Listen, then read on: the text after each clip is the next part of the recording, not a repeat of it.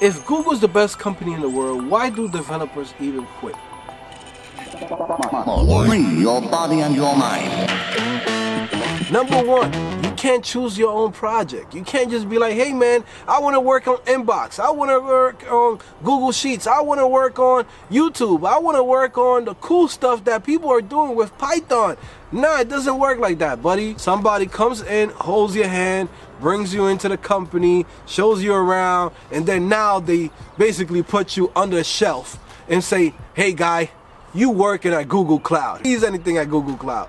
Like nobody cares about that right? Or they'll put you at a project that you're like, wait, I don't even want to do this. You know what I mean? Like this programming language, I didn't even want to work on this. I didn't want to do Golang. I didn't want to do whatever. You get what I'm saying? Whatever BS they're putting you to do. So most developers quit because of that, right? That's a big no-no. If you go into a company and you're like, man, this has to be the best company in the world, but you can't choose what team you want to work on, that's a big problem. Number two, in Google, almost everything has already been done. Like literally, almost everything that you could think of, some guy has already done it. So most of the time, you're either just maintaining it cleaning up old code or just doing debugging. You got what I'm saying? Like, oh, there's an error on Google Analytics. Hey, will you go fix that? That's the things that you're gonna be working on. It's not like fulfilling to be like, oh man, I'm working on this new application. Most of the time, you know, you're pretty much just maintaining somebody's code from like 10 years ago. They barely do anything that's new at Google. It's so safe there that you can't really make an impact. I don't know about you, but for me, I like to take pride in like build this whole application. I build the, the whole backend from the ground up instead of like, hey man, I spent six months, you know, fixing the menus on, on YouTube. Wait, what? Number three, it's extremely hard for you to get promotions. Okay?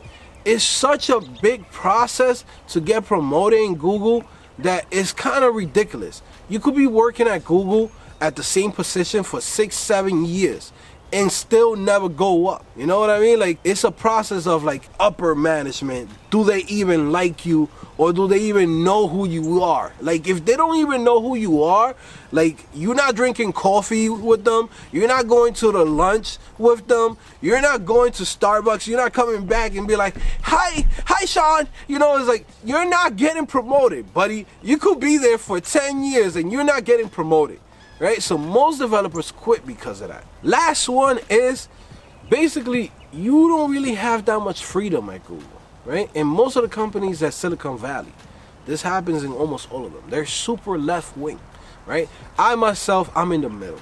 I'm left wing, I'm right wing, I'm everything that you want to label me, right? I'm everything.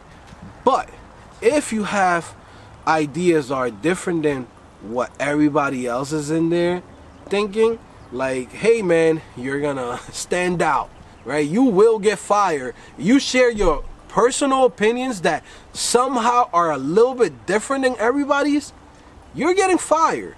Like it's that quick. It's not like oh yeah, like we we appreciate uh, employees' opinions and this, this and that. No, it's like a group collective, and it's like okay, if we all going left, you have to go left.